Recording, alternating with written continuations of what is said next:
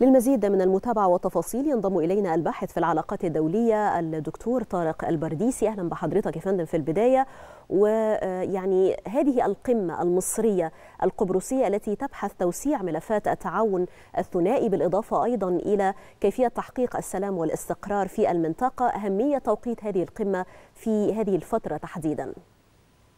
تحياتي لحضرتك ولكل المتابعين. يعني أتصور أن هذه القمة هي تأتي في حلقة في سلسلة حلقات الدولة المصرية سعيها الدؤوب لنسج هذه العلاقات الاستراتيجية مع أكثر من دولة ومع أكثر من يعني مجموعات. فأتصور أن الدولة المصرية بدأت الآن تنسج هذه العلاقات ال ال ال الاستراتيجية والتي تبحث عن الخيرات وعن المنافع المتبادلة ما بين الدول بحيث يصبح الكل رابح. وأتصور أن إحياء الجذور ما بين مصر وقبرص واليونان هي يعني تأكيد على هذا السعي للبحث عن هذه العلاقات التليدة وصولا إلى هذه العلاقات الحديثة واستغلالها في تدعيم سواء كان مشاريع الغاز، مشاريع الكهرباء، مشاريع الطاقة إلى غير ذلك من فرص وأتصور إنه في هذه العلاقات التي تدشنها الدولة المصريه بتنطلق من تشبثها بمبادئ القانون الدولي بأساسيات التنظيم الدولي وعدم التدخل في الشؤون الداخلية للأغيار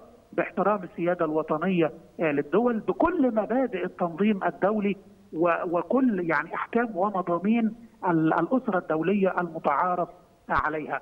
وإن كانت إحياء الجذور يعني هي فرصة لدعم هذه العلاقة الثلاثية فتصور أيضا أن مصر تحاول إحياء الأمل بالنسبة للقضية الفلسطينية نعم. فمصر دائما تعمل في في من ذلك المنطلق لتوسيع هذه العلاقات السياسية بما يخدم المصالح الاقتصادية والتجارية والثقافية ما بين الشعوب. نعم كما ذكرت حضرتك في ضوء المعطيات اللي ذكرتها العلاقات المصرية القبرصية اليونانية بتعد نموذجا يحتذى به في منطقة شرق المتوسط بشكل كامل، إلى أي مدى يمكن أن يسهم ذلك أيضا في تحقيق تطور على صعيد التباحث بشأن تحقيق السلام والاستقرار في المنطقة في ظل هذه الظروف المتوترة في المنطقة بشكل عام؟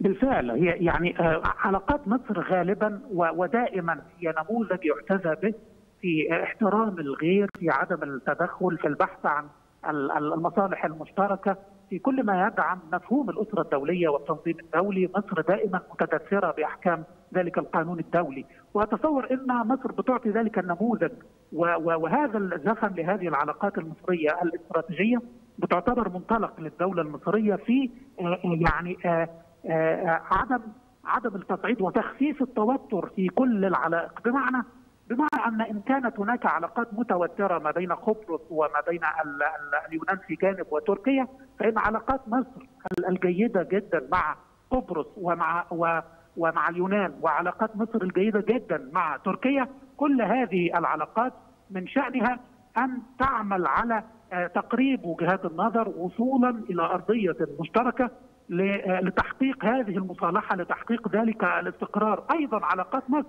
مع سواء كان فتح رام الله سواء كان مع جماعات المقاومة سواء كان مع الجانب الإسرائيلي الأمريكي الأوروبي. يعني هذه العلاقات القوية المتينه المصرية مع كل الأطراف المتخاصمة والمتشاكسة تعطي لمصر هذه الميزة التنافسية وهذه القدرة التفاوضية وهذه المكنه الدبلوماسية في أنها تتعاطى مع أكثر من ملف حيث أنها تصبح يعني سياسيا مركز ثقل ليس فقط بقعة جغرافية عبقرية بتتوسط ما بين البحرين الأحمر والمتوسط ومدخل للقارة الإفريقية والأوروبية وإلى غير ذلك من الأمور المعروفة وإنما أيضا في التوازن في, في السياسة الخارجية في المصرية السنوات الفائتة نعم. استطاع الرئيس السيسي نعم. باعتباره القائد الأعلى للسياسات الخارجية ان أن تكون مصر مركز ثقل سياسي لها ذلك الثقل السياسي حيث تلعب أدوارا متعددة في العديد من الملفات الشائكة والمتوترة. أشكرك جزيل الشكر الباحث في العلاقات الدولية سيد طارق البرديسي شكرا جزيلا لك.